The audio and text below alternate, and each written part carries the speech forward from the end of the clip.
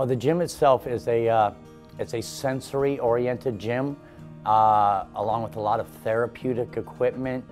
Our gym is a gym for all kids, but we are geared for kids on the spectrum. So our equipment is all OT, and they get their occupational therapy while they play. But it's also set up in a way that makes it fun for everyone.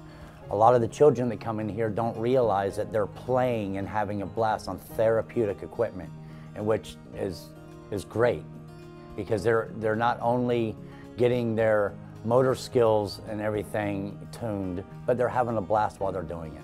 You hear a lot about the ASD and all, and um, we are geared for children on the spectrum with autism, but we are a gym for all kids.